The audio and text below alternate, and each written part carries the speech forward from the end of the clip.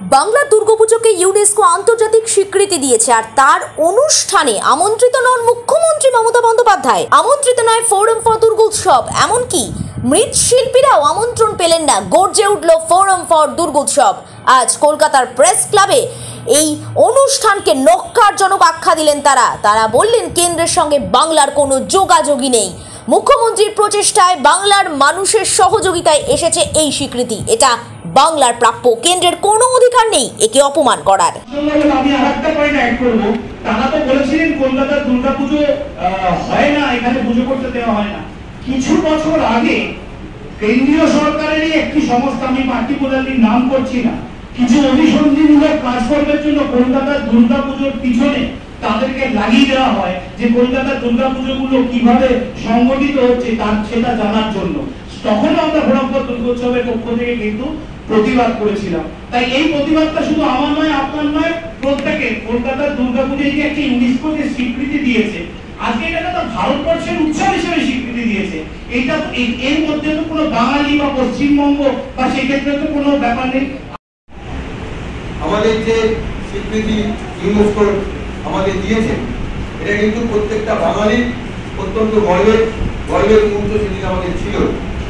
কিন্তু আমরা দেখতে পেলাম যে হঠাৎ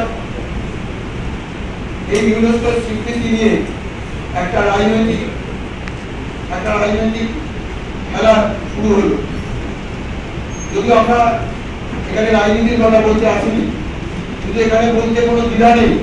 আপনারা যারা রয়েছেন, সবাই পুজোপ্রেমী মানুষ। যে সাংবাদিক বন্ধুরা এখানে এসেছেন, সবাই তিনশো পঁয়ষট্টি দিন আমাদের সাথে আপনারা থাকেন।